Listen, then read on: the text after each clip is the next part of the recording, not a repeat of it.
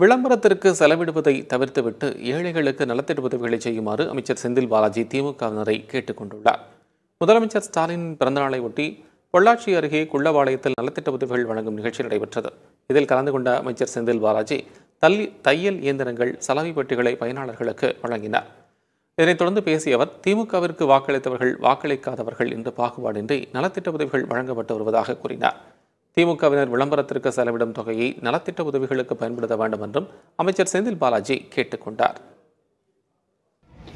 வருகின்ற வழியில் வைக்கப்பட்டிருக்கின்ற இந்த தட்டிகளை தவிர்த்திருந்தால் இன்னும் ஒரு ஐநூறு பேருக்கு கூடுதலாக நலத்திட்ட உதவிகளை வழங்கியிருக்கலாம் என்று சொல்லி இருக்கின்றேன் இனி வரக்கூடிய நாட்களில் இது போன்ற நிகழ்வுகளை மாற்றி அதிகமான பயனாளிகளுக்கு நலத்திட்டங்களை வழங்கக்கூடிய நிகழ்வாக ஏற்பாடு செய்வோம் என்ற உறுதியை சொல்லியிருக்கின்றார்.